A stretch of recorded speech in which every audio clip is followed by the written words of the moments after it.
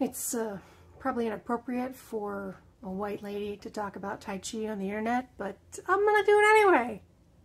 I am no kind of expert in Chinese philosophy and I'm not representing any kind of official position or it's just that I, I took some classes and I found some ideas that were really meaningful to me and, and, and these are what those are. My name is Amelia Nagoski. I'm the co-author of the New York Times bestselling Burnout, The Secret to Unlocking the Stress Cycle. And I am an American white lady, so white and so American that I can trace my lineage back to two Mayflower families. I am the last person who should be talking about Tai Chi or anything related to Chinese philosophy. So insert all caveats and excuses and apologies here for anything approaching cultural appropriation.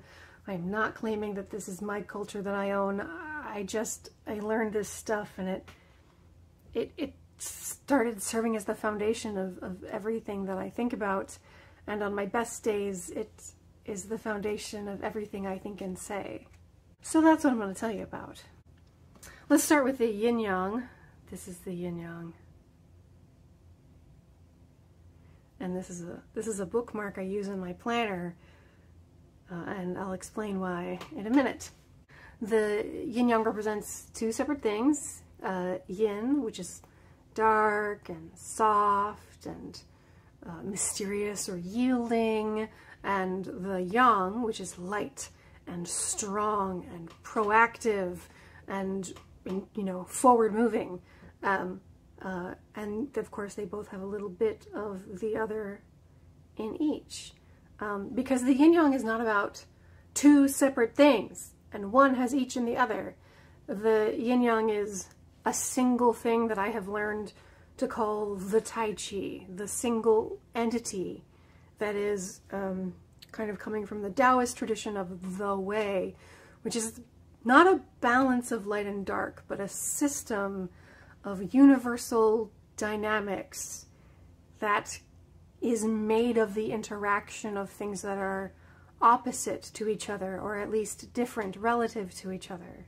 So up and down, in and out, um, wide and narrow, strong and soft, air and rock, individual and communal, all the opposites. And the Tai Chi is the mutual interaction of opposites. This is a way of thinking about Tai Chi that I learned specifically from Roger Jahnke, and I'll link to him in the description.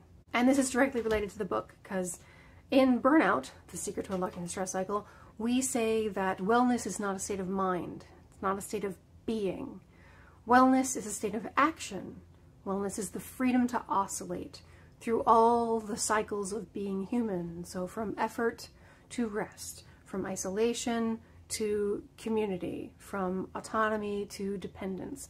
We are not meant to stay in one state of anything all the time. We're meant to continually oscillate and flow through, like digestion, as my sister likes to say, and it always makes me uncomfortable, but I mean, it's just true. Like, digestion is a system, it's a process of intake and output, and if any part of the process gets interrupted or stuck, bad things result. I keep this as the bookmark in my planner of this is today, because today is the point where the past intermingles with the future. And I have a very hard time with that. And I don't know if it's autism, but I do tend to get stuck in my thoughts. Um, so I tend to think a lot about the past or a lot about the future and I have to make an effort to remember that now, now, this, this is where I exist. I exist in the intermingling of past and future, in the intermingling of inhalation and exhalation, of, of, of growth and shrinkage, of, of autonomy and dependence. I, I live in, in the, not a state of like stillness of balance, but of motion and flow as balance.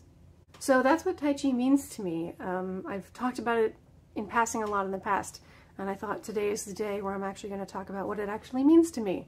This is not an official explanation. There are lots and lots of resources to go find out officially in the Taoist philosophy. What is the yin yang? What what is Tai Chi? Um, and, and Roger Jahnke's uh, books have been of value to me. And he was the first teacher I found who would talk about Tai Chi without just stopping at, and here's the motion you do. You know, you move your hand like this, and you move your arms like that.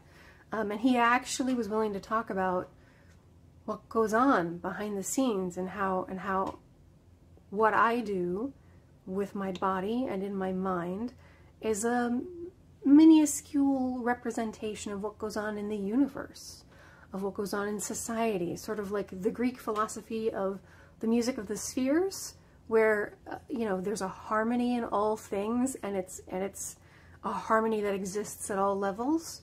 Um, this this feels like that to me. And that's why I keep it in my planner, and that's why I Tai Chi means so much to me and why I practice it. That's all for today. I'll see you tomorrow.